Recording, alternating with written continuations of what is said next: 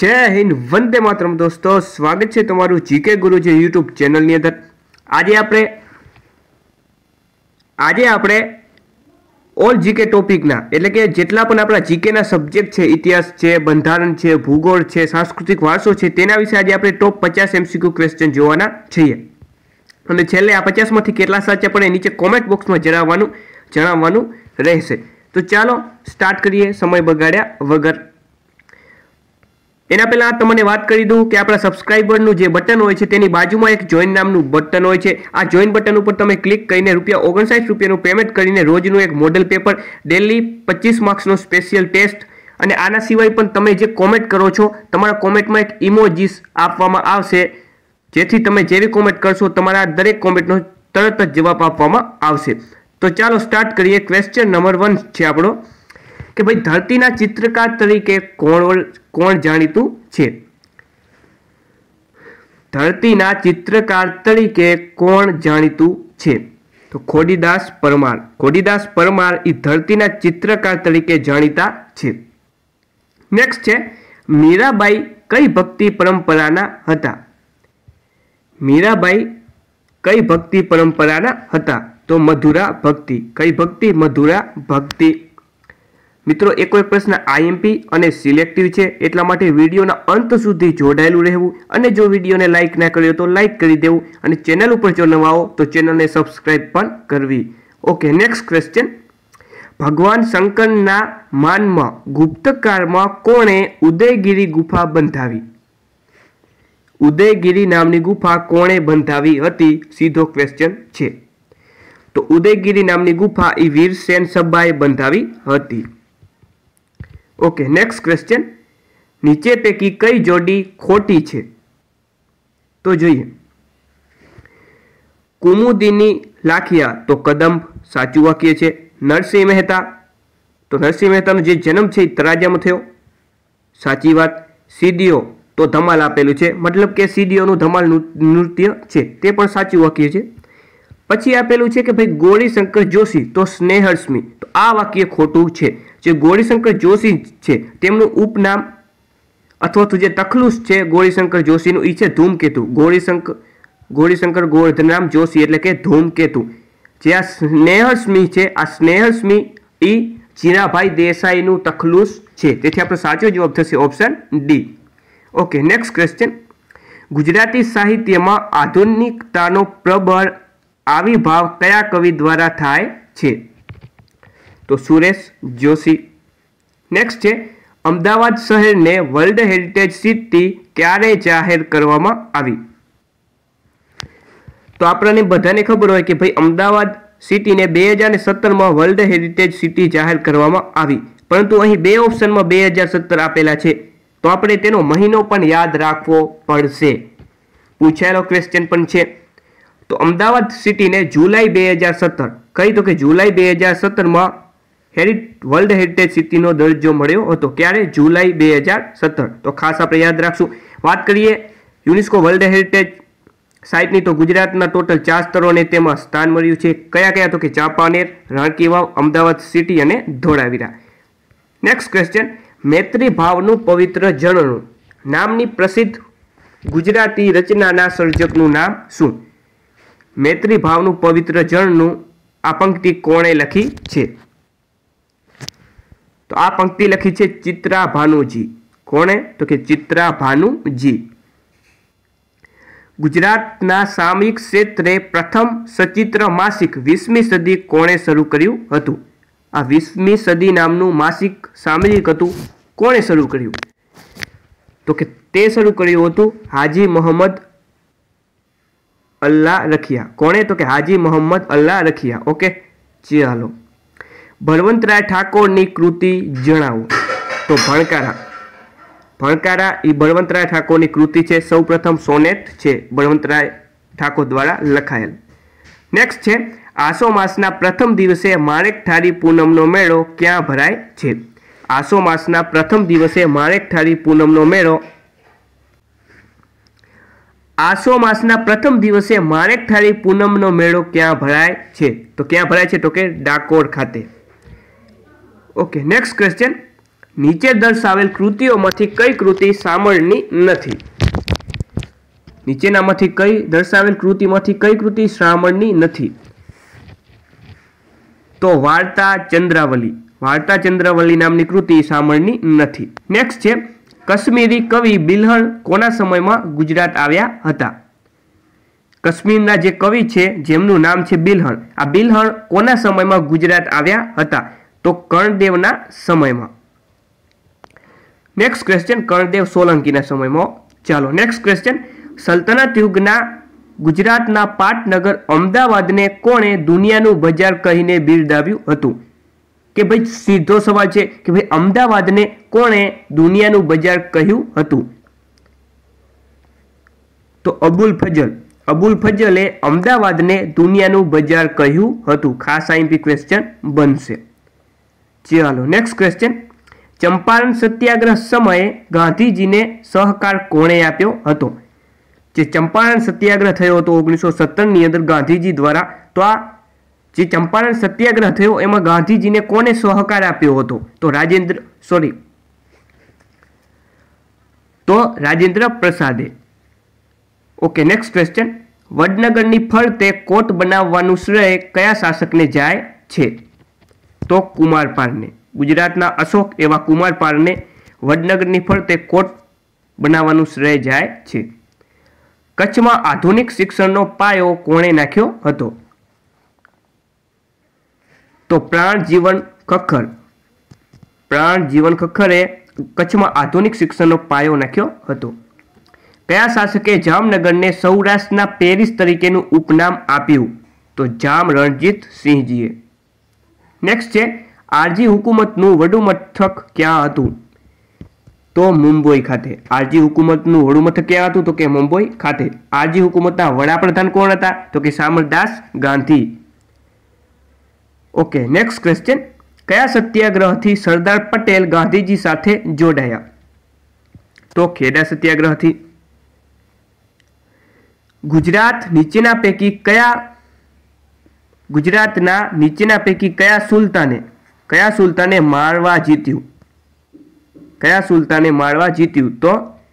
બહાદુર શાહે. નેક્સ્ટ છે, વડોદરા રિયાસત દ્વારા કયા વર્ષમાં ફરજિયાત પ્રાથમિક શિક્ષણની જોગવાઈ લાગુ કરવામાં આવી હતી? તો ઓગણીસો ને છમાં. ઓકે નેક્સ્ટ છે જ્યોતિ સંઘ નામની સંસ્થાની સ્થાપના કોના દ્વારા કરવામાં આવી હતી? જે જ્યોતિ સંઘ છે જ્યોતિ નામની સંસ્થા છે. આ સંસ્થાની સ્થાપના કોના દ્વારા કરવામાં આવી હતી?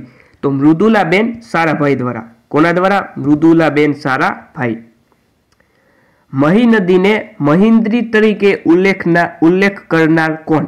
જે મહી નદી છે, એનો મહિન્દ્રી તરીકે ઉલ્લેખ કરનાર કોણ હતા? તો એ હતા અલબરુની અહીં આપણને ખાસ યાદ રાખશું કે ભાઈ મહી નદીને મહિન્દ્રી કોણે કીધી?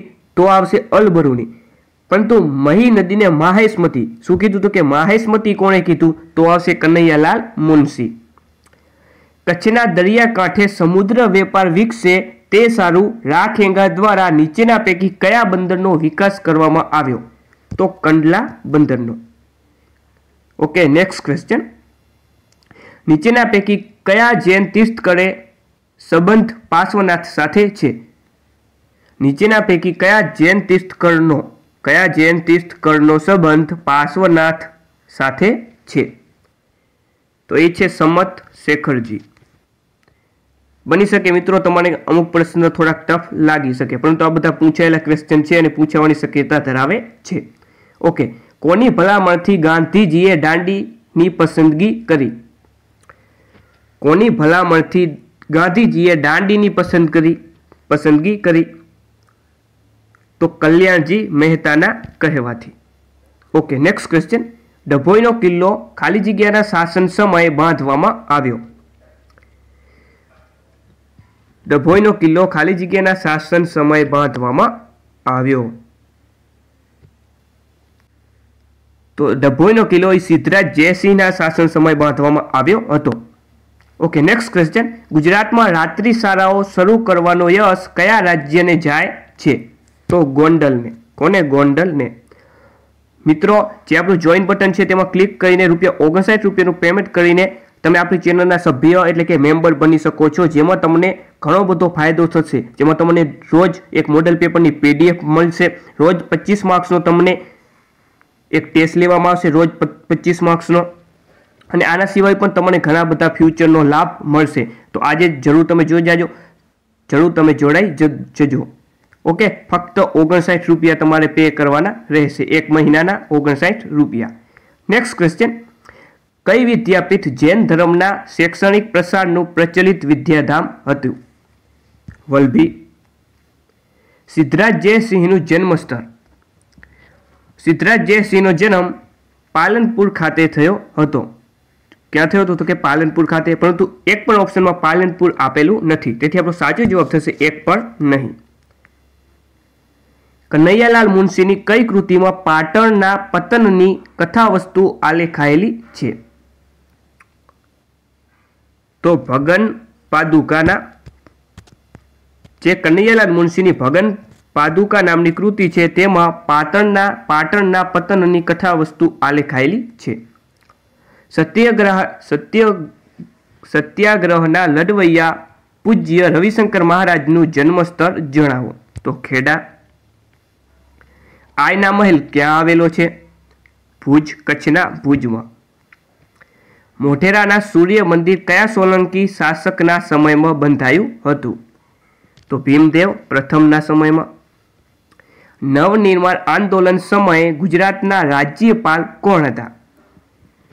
નવનિર્મ, નવનિર્માણ આંદોલન સમયે ગુજરાતના રાજ્યપાલ હતા કે કે વિશ્વનાથન? કોણ હતા? કે કે વિશ્વનાથન.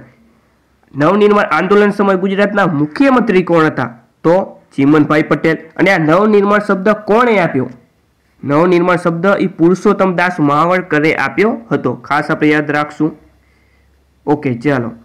આરજી હુકુમતનું બંધારણ રચવામાં કોણે મહત્વની ભૂમિકા ભજવી? તો કનૈયાલાલ મુનશીએ. કનૈયાલાલ મુનશીએ જે આરજી હુકુમતનું બંધારણ હતું, તે બંધારણ ઘડવામાં ખૂબ જ મહત્વની ભૂમિકા ભજવી હતી. ગ્રેફાઇટના ઉત્પાદન માટે જાણીતું સ્થળ કયું છે? જાંબુઘોડા. જાંબુઘોડા ક્યાં આવેલું છે? તો કે પંચમહાલ જિલ્લામાં. દસ ચિહ્નનો અભિલેખ ક્યાંથી મળી આવ્યો છે? તો ધોળાવીરા ખાતેથી. ધોળાવીરામાંથી આપણને ખબર છે કે ભાઈ દસ અક્ષરનું સાઇન બોર્ડ મળી આવ્યું છે. ઓકે ચાલો શિવાજીએ સુરત ક્યારે લૂંટ્યું?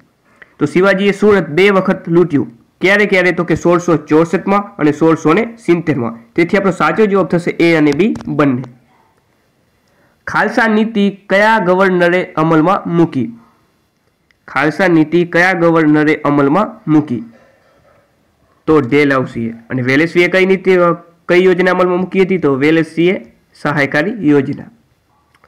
ઓલિમ્પિકમાં સૌથી વધુ ખાલી જગ્યા વખત હોકીના ગોલ્ડ મેડલ ભારતે જીતેલા છે. ઓલિમ્પિકમાં સૌથી વધુ ખાલી જગ્યા વખત હોકીના ગોલ્ડ મેડલ ભારતે જીત્યા છે. તો આઠ વખત. વોલીબોલની એક ટીમમાં કેટલા ખેલાડી હોય છે? તો વોલીબોલની એ, વોલીબોલની એક ટીમમાં છ ખેલાડી હોય છે. ડાયમંડ પિત્તળ જેવા શબ્દો કઈ રમત સાથે સંકળાયેલા છે? પિત્તળ નહીં પિક્ચર છે. શું છે પિક્ચર તો ડાયમંડ અને પિક્ચર જેવા શબ્દ એ બેઝબોલ રમત સાથે સંકળાયેલા છે. ઈડન ગાર્ડન સ્ટેડિયમ ક્યાં આવેલું છે? ઈડન ગાર્ડન સ્ટેડિયમ પશ્ચિમ બંગાળના કોલકાતા ખાતે આવેલું છે. સૌ પ્રથમ ઓલિમ્પિકની શરૂઆત કયા વર્ષથી થઈ? તો અઢારસો ને છન્નુંમાં. આલ્ફા બીટા કિરણોની શોધ કોણે કરી હતી? તો રુથરફોર્ડે. રુથરફોર્ડે આલ્ફાની બીટા કિરણોની શોધ કરી હતી. નેક્સ્ટ છે નીચેનામાંથી કયા ઉપકરણની શોધ જગદીશચંદ્ર બોઝે કરી હતી? તો કેસ્કોગ્રાફ. કેસ્કોગ્રાફની શોધ ભારતીય વૈજ્ઞાનિક એવા જગદીશચંદ્ર બોઝે કરી હતી. શરીરની આંતરિક રચનાનો અભ્યાસ કરતી જીવ વિજ્ઞાનની શાખાને શું કહે છે? શરીરની આંતરિક રચનાનો અભ્યાસ કરતી જીવ વિજ્ઞાનની શાખાને એનાટોમી કહે છે. આરબીઆઈનું વડું મથક ક્યાં આવેલું છે? રિઝર્વ બેંક ઓફ ઇન્ડિયાનું વડું મથક મુંબઈ ખાતે આવેલું છે. આરબીઆઈની સ્થાપના ક્યારે થઈ તો કે ઓગણીસો ને પાંત્રીસમાં. છેલ્લો ક્વેશ્ચન આજનો આપણો છે કે ભાઈ યુપીએસસીના અધ્યક્ષની નિમણૂક કોણ કરે છે? યુપીએસસી એટલે કે યુનિયન પબ્લિક સર્વિસ કમિશન. અને યુપીએસસીના અધ્યક્ષની નિમણૂક રાષ્ટ્રપતિ કરે છે. કોણ કરે છે? રાષ્ટ્રપતિ. તો આ હતા આજના આપણા ટોપ પચાસ એમસીક્યુ ક્વેશ્ચન કેટલા સાચા પડ્યા? નીચે કોમેન્ટમાં તમે જરૂર જણાવજો. તો ફરીથી મળશું આવા જ એમસીક્યુ ટેસ્ટ સાથે. ત્યાં સુધી જય હિન્દ વંદે માતરમ બાય બાય.